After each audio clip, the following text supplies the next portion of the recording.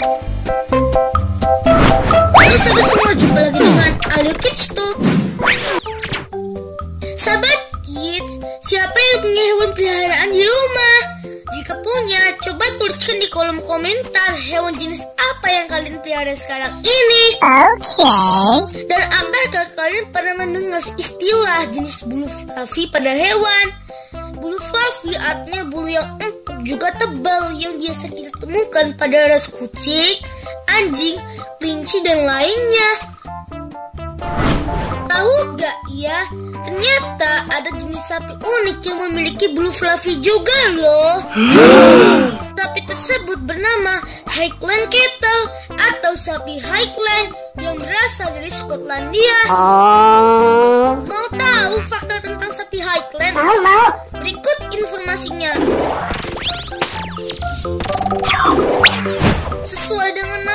Sapi ini berasal dari daratan tinggi Skotlandia dan kepulauan barat Skotlandia. Sapi Highland memiliki ciri yang sangat unik yaitu berbulu badan bergelombang yang indah. Selain itu memiliki tanduk yang panjang.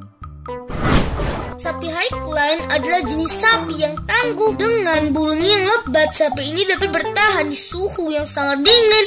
Tubuh sapi ini memiliki dua lapis benteng rambut. Mencegah air hujan menyentuh kulit. Sementara lapisan kedua berbulu halus untuk memberi kehangatan ekstra saat musim dingin. Sayangnya rambut ini membuat mereka sulit bertahan hidup di wilayah dengan iklim panas atau hangat. Eits, tapi jangan lupa bagi yang belum berlangganan, silakan like, subscribe, dan tekan tanda loncengnya ya. Terima kasih. Tapi Highland sudah ada sejak abad ke-6, namun baru tercatat mulai tahun 1885 yang habitat aslinya di daratan tinggi Skotlandia. Namun sekarang sudah diternakan di beberapa negara seperti di Australia, Amerika Utara, dan Eropa. Sapi Highland memiliki ukuran hampir sama dengan sapi pada umumnya, tinggi bau antara 0,9 sampai 1,1 meter. Berat badan rata-rata antara 400 kg hingga 1 ton. Makanan utama dari sapi ini adalah rumput segar.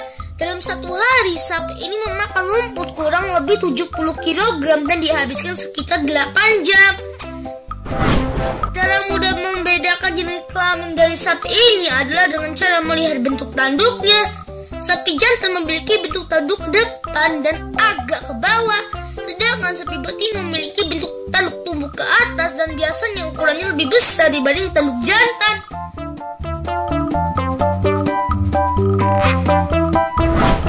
Daging sapi Highland dikenal sebagai daging berkualitas premium, tak hanya rasa dan teksturnya yang lebih lezat. Daging sapi ini juga rendah lemak, rendah kolesterol, kaya protein dan zat besi. Oleh karena itu, daging sapi Highland murni dijual dengan harga mahal. Harga jual sapi ini mulai dari 32 juta hingga di atas 100 juta per ekor. Kalau beli sampai ke Indonesia bisa jadi berapa ya harganya? Coba kalian tulis perkiraan harga di kolom komentar ya.